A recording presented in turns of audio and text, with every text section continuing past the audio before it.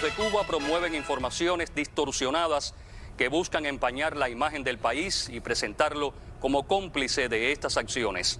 Bueno, así reaccionó el régimen cubano por televisión a las denuncias de jóvenes reclutados para pelear en la guerra de Rusia con Ucrania. Niegan tener algo que ver con eso. Sin embargo, admitió que las autoridades intentan desarticular una red de trata de personas con fines de reclutamiento militar que opera desde Rusia. Una situación denunciada por Telemundo 51 que entrevistó a jovencitos que dicen fueron contactados para trabajar en Rusia. Ayer se los mostrábamos y terminaron siendo enviados a pelear en Ucrania y ahora están incomunicados. Alexis Fuentes, vamos contigo. ¿Qué se sabe de ellos?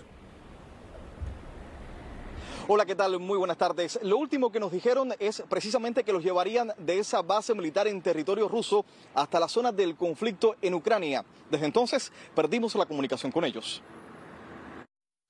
Cuba enfrenta operaciones de trata de personas con fines de reclutamiento militar. La nota oficial reconoce la existencia de una red que opera desde Rusia para reclutar cubanos y sumarlos a las operaciones militares en Ucrania. Se han neutralizado intentos de esta naturaleza y se han iniciado procesos penales sobre personas involucradas en estas actividades. Este año los ministros de Defensa de Cuba y Rusia dialogaron en Moscú sobre proyectos técnico-militares, pero La Habana insiste en que no son parte de la guerra ni cómplices en estas actividades de reclutamiento. Me enteré ya después de último momento, yo le había dicho a mi hermana que por favor que estuviera pendiente el niño, que lo más probable que era para la guerra, ella me decía que no, que era un contrato de trabajo para construcción, le dije imposible. Mayelín vive en la Florida, es la tía de Andros Velázquez, uno de los dos jóvenes cubanos que hablaron con Telemundo 51, según dijeron, desde una base militar rusa, a donde habrían sido llevados por negarse a participar en la guerra. Mi sobrino nada más tiene un solo riñón. Él es un niño que, ni siquiera pasó el ejército en Cuba, pues tiene problemas de salud.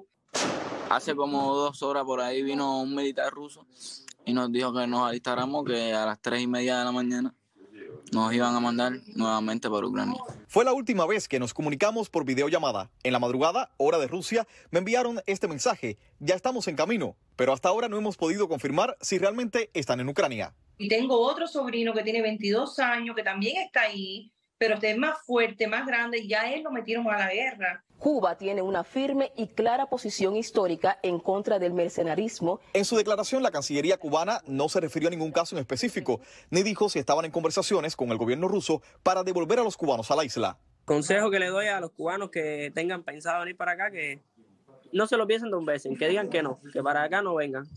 Es la cosa más loca, más fea que hay, venir para acá. Es una locura. Para viajar a Rusia, los cubanos solo necesitan un pasaporte activo, es decir, no se requiere una visa, lo cual le podría facilitar todo este proceso. No sabemos cuántos habrían caído en esta red, pero desde la isla hemos recibido varios mensajes con historias similares, pero hasta ahora no quieren hablar en cámara. Alexis Puentes, Telemundo 51.